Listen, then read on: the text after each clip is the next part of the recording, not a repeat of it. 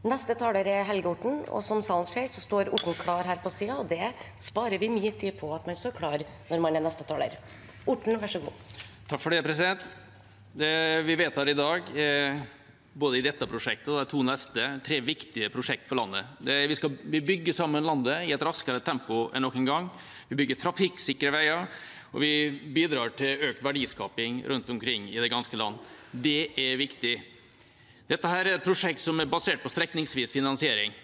Det betyr at det er god sammenheng mellom kost og nytte i disse prosjektene. Bilistene skjønner hva de er med å betale for, og de får ny vei og de får en, mye mer trafikksikker vei. Derfor er det jo et stort flertall for. Og etter å høre debatten så kan en begynne å lure på det, når alle er så bekymra for bompengenivået i disse prosjektene. Det er stort flertall for. Og når det gjelder Senterpartiet og Arbeiderpartiet, jo, det er gratispassasjerer i disse prosjektene som Nye Veier bygger. Fordi det var mot etableringen av Nye Veier. Mot etablering av Nye Veier. Og hva er det vi har oppnådd med å etablere Nye Veier? Jo, vi øker samfunnsnytten i prosjektene. Det gjør vi på to måter. Enten ved å øke nytten i prosjektene, som er bra for landet, eller å redusere kostnadene. Og det er gjort i alle disse tre prosjektene som blir lagt fram her i dag. Vi har fått ned kostnadene. Nå kan jeg gjerne stå på denne talerstolen og snakke om hvordan vi skal fordele eventuelle overskridelser eller besparelser knyttet til den prosjektsummen som ligger der.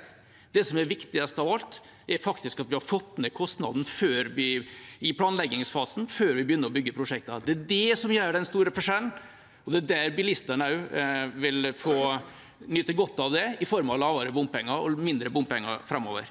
Så det som er realiteten her, her er Arbeiderpartiet og Senterpartiet gratispassasjerer i prosjekt som Nye Veier bygger ut. Fordi det var mot disse eh, etableringen og stort sett alle de reformene som er gjennomført i, i samferdselssektoren.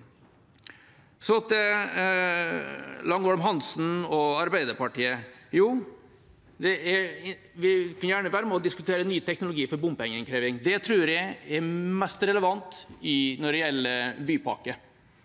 I disse prosjektene som er strekningsvis finansiering, er det ganske god sammenheng mellom kost og nytte. Det du betaler, det du får igjen i form av vei.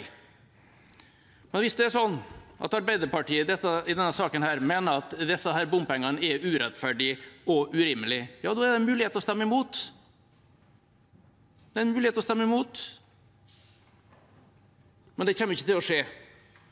Og da oppfatter jeg det sånn at også de som er med og stemmer for dette, her, ser nytten i prosjektene, ser verdien av å bygge sammen landet og oppfatter dette her som både rimelig og rettferdig ut ifra det som ligger på bordet. Hvis det ikke så må det kunne komme fram et annet forslag. president.